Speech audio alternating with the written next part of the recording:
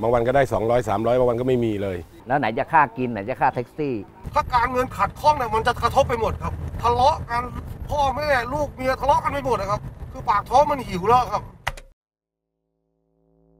สถานการณ์โควิดแบบนี้ทำให้ความต้องการในการเดินทางของผู้คนลดลง แน่นอนเลยนะ ว่าส่งผลกระทบกับธุรกิจขนส่งสาธารณะ แท็กซี่เนี่ยเจ็บหนักสุดเลย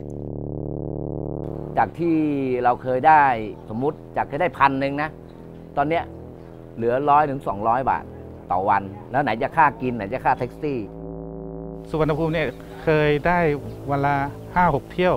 หรือวันละเที่ยว วันละเที่ยวนี่เราคือเราต้องนอนค้างคืนกันเลยนะบางวันก็ได้ 200 300บางวันก็ไม่มีเลย ก็เติมก๊าซกินก็หมดแล้ว จากที่รายได้เฉลี่ยหักค่าใช้จ่ายแล้ว 2,000 พอเข้าโควิด บางวันเราได้ 200 300 สิ่งที่มันเหมือนเดิมก็คือรายจ่าย แต่รายรับมันไม่ใช่ รับน้อยกว่ารายจ่ายมากด้วยค่ะ ติดลบทุกคนค่ะ ลบทุกคนละค่ะชั่วโมงเนี้ยคือก่อนหน้านี้อะผมได้เข้าบ้านทุกวันนะคืออย่างน้อยๆนี่คือห้าหกร้อยบาท ตอนนี้เหลือสองสามร้อยครับ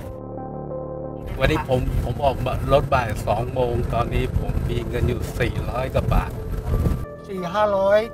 ยังไม่หักค่าแก๊ส บางวันเหลือเข้าบ้านร้อยสองร้อยบางวันก็ได้สองเที่ยวเช้าเย็นตั้งแต่ห้างเปิดเย็นเย็นเย็นประมาณสักหกโมงหรือทุ่มหนึ่งเนี่ยจริงๆ ช่วงนี้แย่มาก ใช้คำว่าหลักร้อย วันหนึ่งแทบจะไม่ถึง ที่ผมวิ่งอยู่ตรงเนี้ยวันหนึ่งได้ 300 นี่ถือว่าดีแล้วนะ แต่ 300 เนี่ยคือ เรายังไม่ได้หักค่าก๊าซเลยนะ ค่าก๊าซของผมมันถังเล็กมันผมผมเติมประมาณ 130 บาทนะครับ นอกจากรายได้จะลดน้อยลงไปมาก แท็กซี่เป็นอีกหนึ่งอาชีพที่เสี่ยงกับการติดเชื้อโควิด และควรที่จะป้องกันสุขอนามัยของตนเองอย่างเคร่งครัดที่สุด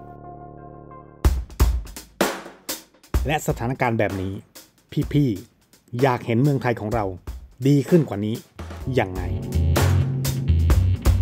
ต้องไปลดต้นทุน ต้องลดน้ำมัน ให้มันถูกลงลดแก๊สให้มันถูกลงลดข้าวสารให้มันถูกลงลดไข่ให้มันถูกลง เหลือใบละบาทได้ไหมข้าวแกงเหลือจาน 20 ได้ไหม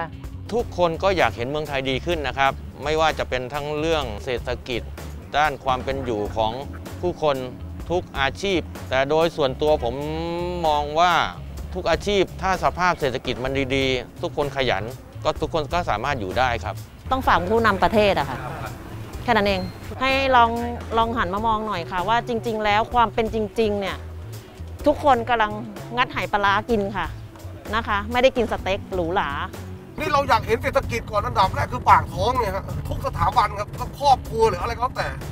ถ้าการเงินขัดข้องเนี่ยมันจะกระทบไปหมดครับค่ะทะเลาะกันพ่อแม่ลูกเมียทะเลาะกันไปหมดนะครับ คือปากท้องมันหิวแล้วครับ หลายคน